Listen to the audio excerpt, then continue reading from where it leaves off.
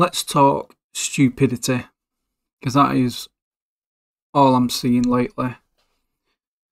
So, Xbox are going to sell games on PlayStation. So they spent however many many billion on Bethesda. They spent in 70 billion on Activision. And they're going to sell games on PlayStation and Nintendo. And that's apparently the uh, end of the console war, apparently. I've never heard such nonsense, absolute nonsense in my life.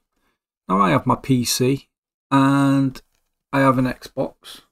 Um, I'm planning on getting a PlayStation because uh, I want to play a couple of games. But the fact is,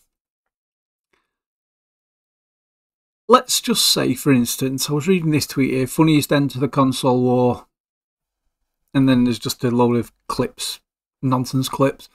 But my point is, let's say, for instance, Xbox disappears. They say, right, we don't want to make a console anymore. Get that out of the way. So the only consoles on the market are the PlayStation 5 and the Nintendo. Right, so most Xbox players are probably just going to move to PC anyway.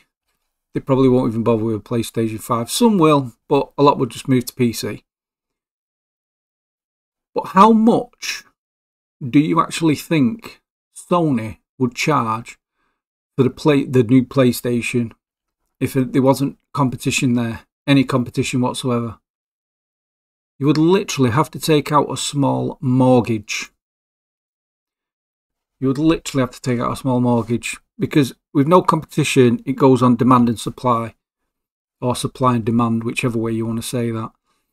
And the fact of the matter is, is there wouldn't be much supply, but there'd be lots of demand, and the prices would just be ridiculous. With Xbox in the market, there's a little bit of competition there, so they are they balance the prices. You get, even though they're still quite exp- quite expensive, you get a little bit of leeway there. The fact that people still in 2024 argue over what piece of plastic they play their games on is just ridiculous to me on all levels. My personal opinion on exclusives on consoles, and I think PlayStation are mad for not doing it anyway, but Xbox, I can see what they're doing, is if you have an exclusive on your console, I think that is perfectly fine. But what I think you should do is you should have the exclusive for a whole year. You literally should have it. Let's say, for instance, what we got coming up. We've got uh, Indiana Jones. We've got coming up. So it's on play. It's on Xbox in December, and then it's moving. It's getting released on PlayStation in the spring of 2025. So they're having a little bit of an exclusive. Try and make some sales. They won't make. They'll try and make some sales on Xbox, and then they'll make some loads of sales on PlayStation. They should do the same with every single game. I honestly be if you have Halo, Halo should be exclusive for a year, then move it over to PlayStation. Why not? It's money making. It's it's a capitalist society. You're here to make money. And if selling games on PlayStation makes a company money when they've just spent 70 odd billion on a company, why? I don't understand people's mentality. It's like a two 12 year olds arguing. I mean, I'd love to be able to. When uh, cross compatibility came along, where you could play with other people on other platforms on certain games, it was just the best thing ever. Because I I had a friend that had a PlayStation and I only had me my Xbox, but we could play a couple of games. Is that not good for everyone? I don't understand the argument.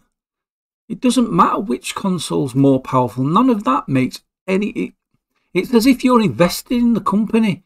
The companies, Xbox, PlayStation, Sony, Microsoft, they don't give two hoots about you as a person. So I don't know why you invest so much. It's like iPhone users fucking baffle me. They literally baffle me because I don't understand what I don't understand what brainwaves they're working on. It's, it's nonsense. It's absolute nonsense. You need a couple of consoles in the market for competition. Otherwise, you're just going to get absolutely. Do you think games will stay at 70 quid if there's only one console on the market? No. They'll be going up to 100 $100, 90 quid before you know it. It's absolutely ridiculous. So, can we just calm down on this Xbox thing? Because I guarantee you, Xbox is going nowhere. Let's just remember Microsoft could buy Sony, what, 50, 60, 70 times over and still have change to buy Coke. You know what I mean? Coca Cola. Just let's.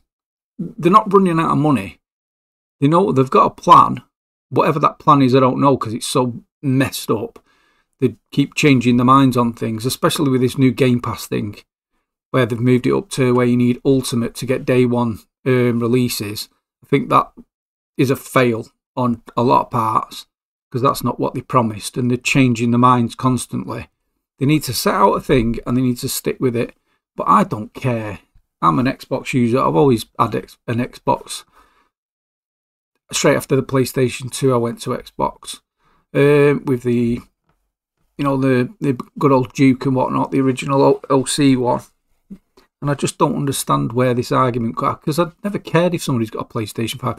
I pick it up, I play it. Yeah, it's cool.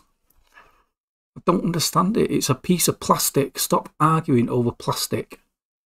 And if you're that bothered about it, build a PC. I've got a PC here that I'd wipe a PlayStation out of the market, but I don't use it for gaming. I use it just for normal, general, everyday stuff. I, I still use my Xbox to play games because I like to lie back on, sit back on my bed and play them.